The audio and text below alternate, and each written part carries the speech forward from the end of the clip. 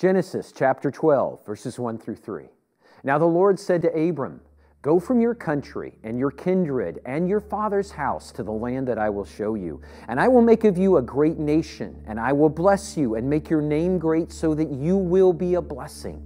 I will bless those who bless you, and him who dishonors you I will curse. And in you all the families of the earth shall be blessed. Exodus chapter 3, verses 1 through 10. Now Moses was keeping the flock of his father in law, Jethro, the priest of Midian, and he led his flock to the west side of the wilderness and came to Horeb, the mountain of God. And the angel of the Lord appeared to him in a flame of fire out of the midst of a bush. He looked, and behold, the bush was burning, yet it was not consumed. And Moses said, I will turn aside to see this great sight, why the bush is not burned. When the Lord saw that he had turned aside to see, God called to him out of the bush, Moses, Moses. And he said, Here I am. Then he said, Do not come near. Take your sandals off your feet, for the place on which you are standing is holy ground. And he said, I am the God of your father, the God of Abraham, the God of Isaac, and the God of Jacob. And Moses hid his face, for he was afraid to look at God. Then the Lord said, I have surely seen the affliction of my people who are in Egypt, and have heard their cry because of their taskmasters. I know their sufferings, and I have come down to deliver them out of the hand of the Egyptians, and to bring them up out of that land into a good and broad land, a land flowing with milk and honey, to the place of the Canaanites, the Hittites, the Amorites, the Perizzites, the Hivites, and the Jebusites. And now, behold, the cry of the people of Israel has come to me, and I've also seen the oppression with which the Egyptians oppress them. Come, I will send you to Pharaoh so that you may bring my people, the children of Israel, out of Egypt. 1 Samuel chapter 3 verses 1 through 10. Now the boy Samuel was ministering to the Lord in the presence of Eli, and the word of the Lord was rare in those days. There was no frequent vision. At that time Eli, whose eyesight had begun to grow dim so he could not see, was lying down in his own place. The lamp of God had not yet gone out, and Samuel was lying down in the temple of the Lord where the ark of God was. Then the Lord called Samuel, and he said, Here I am. And he ran to Eli, and he said, Here I am, for you've called me. But he said, I did not call, lie down again. So Samuel went and lay down, and the Lord called again, Samuel. And Samuel arose and went to Eli and said, Here I am, for you called me. But he said, I did not call my son, lie down again. Now Samuel did not yet know the Lord, and the word of the Lord had not yet been revealed to him. And the Lord called to Samuel again the third time. And he arose and went to Samuel, and he said, Here I am, for, for you called me. Then Eli perceived that the Lord was calling the boy. Therefore Eli said to Samuel, Go and lie down, and if he calls you, you shall say, Speak, Lord, for your servant hears. So Samuel went and lay down in his place. And the Lord came and stood, calling as at other times, Samuel, Samuel. And Samuel said, Speak, for your servant hears.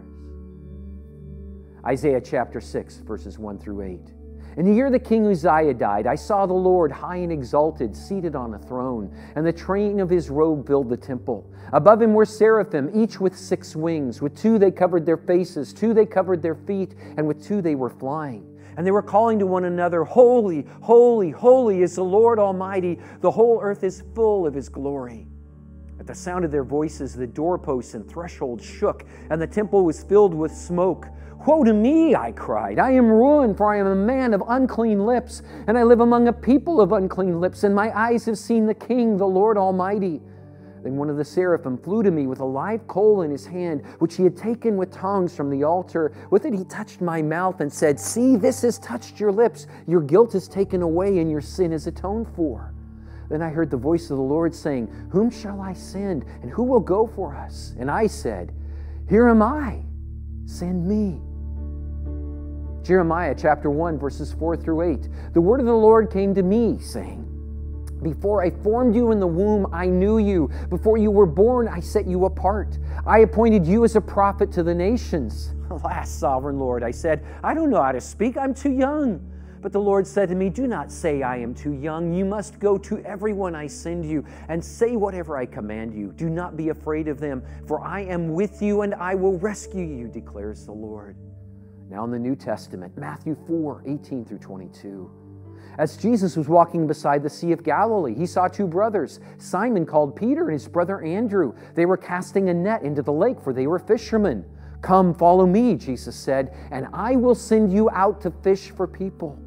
At once they left their nets and followed him. Going on from there, he saw two other brothers, James, son of Zebedee, and his brother John. They were in a boat with their father Zebedee, preparing their nets. Jesus called them, and immediately they left the boat and their father and followed him. Now, the book of Acts 26, verses 13 through 18.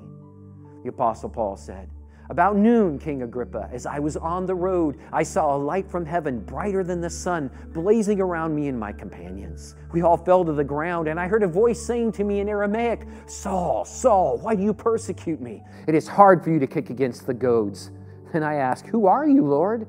I am Jesus, whom you are persecuting, the Lord replied. Now get up and stand on your feet. I have appeared to you to appoint you as a servant and as a witness of what you have seen and what you will see of me. I will rescue you from your own people and from the Gentiles. I am sending you to them to open their eyes and turn them from darkness to light and from the power of Satan to God, so they may receive forgiveness of sins and a place among those who are sanctified by faith in me. God has been calling people for a special purpose for thousands of years. Ever since Adam and Eve turned away from God's plan and hid themselves from Him, God has been reaching out, calling mankind back to Himself. And God usually uses other people to do it. Why? Well, those who won't listen to God can't hear from Him. Listening to God requires a commitment to Him and obedience to His word and intimacy with Him. So God calls some of those who are already His and sets them apart to tell others about Him. Now, my purpose today is not to call you into ministry. Only God can do that. In fact, God's not going to call everyone into ministry. Ephesians 4 11 through 13 says, And He gave some as apostles, and some as prophets, and some as evangelists, and some as pastors and teachers, for the equipping of the saints for the work of the service to the building up of the body of Christ, until we all attain to the unity of the faith and the knowledge of the Son of God, to a mature man, to the measure of the stature which belongs to the fullness of Christ. A ministry calling makes you no more of a Christian and no more valuable to God than if you're not called into full time ministry. God has a purpose and a special role for each of us, whether or not we ever wear the stole of ordination. However, if you are called, your obedience to that calling is essential. And I have found that there are four common characteristics of the divine call to ministry. The first is that it is personal. Look at the number of times God called people by name in the passages we just read. Usually he called their names twice Moses, Moses, Samuel, Samuel, Saul, Saul. Also, note that when God came to them, he went to where they were. And God spoke to different people in different ways. Yet each call required a response from the one called. You know, I grew up in a spiritually lukewarm church, and I did not know God until just after my senior year of high school. I'd taken the challenge from my youth pastor to read my way through the Bible, but I was not yet convinced that that hole in my heart could only be filled when I found the right woman.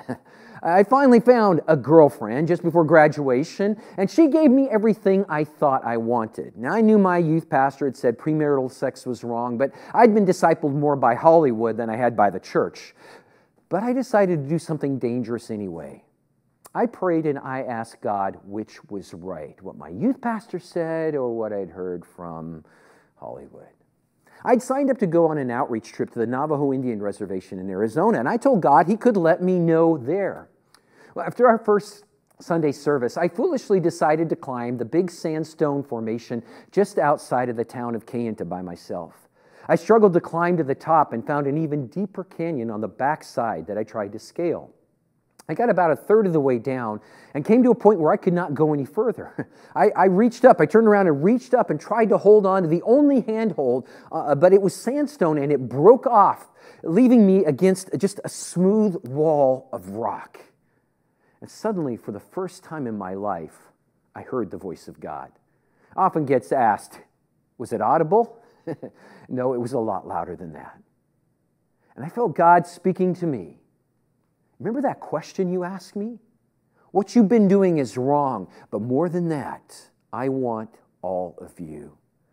Well, I wrestled for a few minutes on that little narrow spot on that cliff, whether or not I would surrender my life to God. But I realized if God loved me enough to answer my question, how could I not give him everything I had?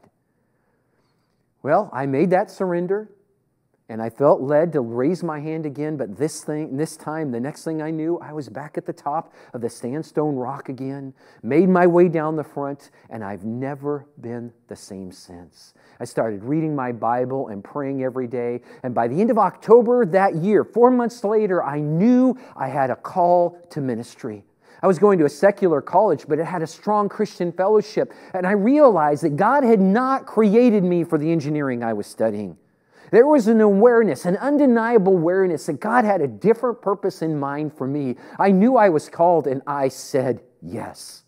And your calling won't be like mine or Moses' calling or Paul's calling. But look at how Timothy was called. Acts 16, 1 through 3. Paul came also to Derbe and Lystra. And a disciple was there named Timothy, the son of a Jewish woman who was a believer, but his father was a Greek, and he was well spoken of by the brethren who were in Lystra and Iconium. Paul wanted this man to go with him. Not too much supernatural there. But he took him and circumcised him because of the Jews who were in those parts, for they all knew that his father was a Greek. Yeah, but was he called? He didn't have any burning bush or anything. But notice what Paul writes to him in 1 Timothy 4:14. Do not neglect your gift which was given you through a prophetic message when the body of elders laid their hands on you. There was something supernatural that happened to Timothy. Oh, you may be asking today, well, how do I know if I'm called? Elmer Towns says to look for three criteria. Number one is a continuous burden. You just can't let it go, it's with you all the time. Number two is an abiding desire. You want to do it. And number three is fruit as you step out in ministry. And I just want to encourage you if you think you're called, test it. Step out, volunteer, and serve. Peter writes in 2 Peter 1:10, "Therefore, brethren, be all the more diligent to make sure about his calling and choosing you." And Paul told Timothy to let people who are going to be serving as leaders in the church to first be tested, then let them serve as deacons if they are beyond reproach. Before I got involved in full time ministry, I worked in the nursery. I taught elementary Sunday school. I worked with the youth group. I played bass guitar and keyboard, sang on the worship team, did all kinds of outreaches. I even picked up trash. Don't get expected to get paid to do something you're not willing to do as a volunteer. the next thing to do is cultivate a deep relationship with Christ. Remember, only your intimacy with Him enables you to be a vessel you can, He can use. When you answer the call, you place yourself in the front lines of spiritual warfare. You're a prime target for the enemy, and He'd love to take you down. It is horribly destructive when a pastor falls. Never think that you can stand on your own apart from Christ. A friend who once fell morally told me, You know, when it comes down to it, my real failure was not loving Jesus with all my heart fall in love with Jesus, stay in love with him, and study his word. 2 Timothy 2:15 says, "Be diligent to present yourself approved to God as a workman who does not need to be ashamed, accurately handling the word of truth." Develop a deep relationship with the Bible, study it, memorize it, live by it. So as we said, God's ministry call is purposeful, but number 2, it's also purposeful in addition to being personal.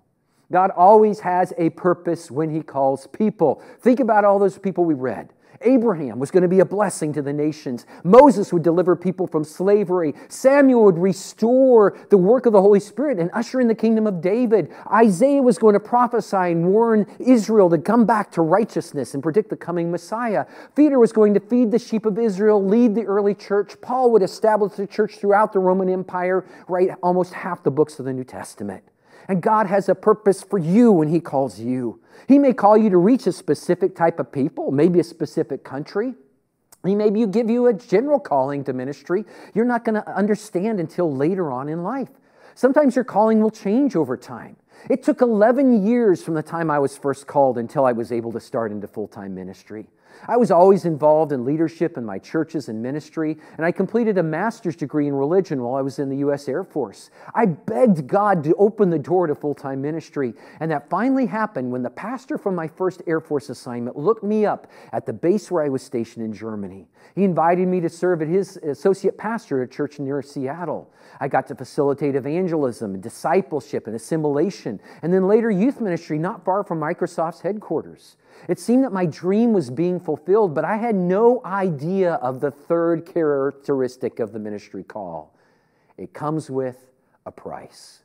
You know, many of those who said yes to God's call have suffered ridicule, persecution, financial loss. They were disowned by their families. Let's see what Paul said about himself in 2 Corinthians 11 23 through 29.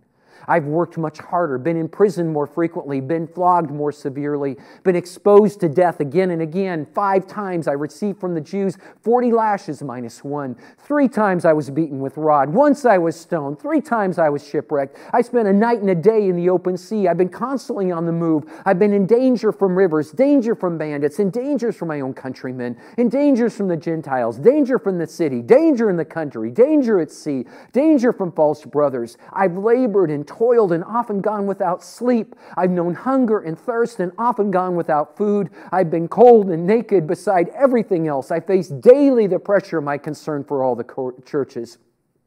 Who is weak and I do not feel weak? Who is led into sin and I do not inwardly burn? You know, I used to imagine that ministry would be glorious. I never expected the price. But like Paul described, you feel more deeply the needs of the people that you lead. You know, when I make a mistake that causes someone else pain, it hurts deeply. When someone else is angry or hurts or leaves or falls away from the faith in your ministry, it's hard to not take it personally. When you serve as a staff pastor or an unwise or unloving lead pastor, that can bring pain too. The great H.B. London reported a study of pastors that revealed 80% of them believe that pastoral ministry negatively affects their families. 33% say it's an outright hazard to their ministry. 75% report a significant stress related crisis at least once in their ministry. 50% feel like they don't, can't do the job well. 40% require, say that they got a conflict with a parishioner at least once a month. 70% say their self esteem is lower now than when they started in ministry. You know, friend, I want you to know if you're not certain you're called to ministry, don't do it. If you can do anything else and still be happy, change your major right now. You'll make a lot more money, deal with less stress. But if you're called, it's unescapable. You know, how many times have I felt in my own way, my own life, the way Jeremiah describes it? He said, Oh Lord, I'm ridiculed all day long. Everyone mocks me when I speak. I cry out, proclaiming violence and destruction. So the word of the Lord has brought me insult and reproach all day long. But if I say, I will not mention him or speak any more in his name, his word is a, in my heart like a fire, a fire shut up in my bones. I'm weary of holding it in. Indeed, I cannot. In my first four years in ministry, I had many great joys, including a growing youth ministry with lots of teens finding Jesus. But the church itself was struggling, and the lead pastor even more so. Eventually, he and his wife split up in a very unpleasant way, and I found myself caught in the middle between them and the church and the denomination. I began to ask God if I'd made a mistake. I knew things would have been so much easier if I'd stayed in the Air Force or become a civilian engineer. Yeah, like Jeremiah, Uh, he wrote uh, in chapter 15, verse 16 of his book When your words came, I ate them. They were my joy and my heart's delight, for I bear your name, O Lord God Almighty. And that's the good news of the ministry call. That is its promise. The first promise God gives is that you will make a difference. Remember, we read that God told Moses in Exodus, Certainly I will be with you, and this is the sign that it is I has sent you. When you have brought the people up out of Egypt, you shall worship God at this mountain. After seeing my pastor's family disintegrate, I almost left the ministry. But you know, I took my junior highers to summer camp that year. And I'll never forget that first service. You know, it's that service when the speaker caused all those junior highers to repent. Jesus was reminding me he had not released me from my ministry call. And I remember at that invitation, I ran to that altar and I wept right alongside all those snot nosed kids, and I made the commitment to stay faithful to Jesus and the calling he gave me. Several months later, a church invited me to become their lead pastor, and it was clearly confirmed by God's calling. And we saw God do great things there over the next eight and a half years as the church tripled in size with hundreds coming to faith in Jesus. I completed my doctorate at that time. Then God called me again, this time to begin teaching at a sister school of Southeastern. Then, five years later, after my dean, Dr. Kent Ingle, had become president of Southeastern University, he invited me here to become the dean. The interesting thing, though, was just before I got my first call to consider coming to Southeastern, I received a Facebook message from a lady who had attended the church I used to pastor. I'd not seen her in over three years, but here's what she wrote Hi, Pastor Alan. You've been on my mind lately. When I prayed and asked the Lord why you're on my mind and your name has been coming out of my mouth, He showed me transparent flames of fire. I'm sure this is a very good thing. I know that fire burns that very hot, like it's transparent, like jet fuel. I feel like the Lord is doing something amazing or about to do something amazing in your life and ministry. Does this mean anything to you? I wrote back that night, Wow, thanks, Jennifer. I'm not really sure what it means. I enjoy teaching at Northwest, but I'm always up for whatever God has. I pray you and your men are well. And she wrote back later that night Pastor Alan, I pressed in more as to what I saw in the Spirit for you. I see you with transparent flames of fire encircling you. They reach up higher than your head. I see bursts of orange fireballs coming off of you and being sent all over the globe. I believe that God is calling you into the fire of revival to be a fire starter for the kingdom of God. This fire will not go out, it will burn until the coming of the Lord. You will be consumed by this fire and burn hot and bright in you. He has welcomed you into his fire, but he is also telling you it is going to cost you much. of course, there were many other ways that God's calling to SEU was confirmed, but I didn't even make the connection with this word until I was sitting with our executive vice president after a day filled with interviews to see if this was going to be the job. And then I suddenly remembered this message. And I pulled out my phone and showed it to him, and he started laughing. And I said, What? And he pointed to his shirt an SEU shirt just like this one with the fire on the Logan.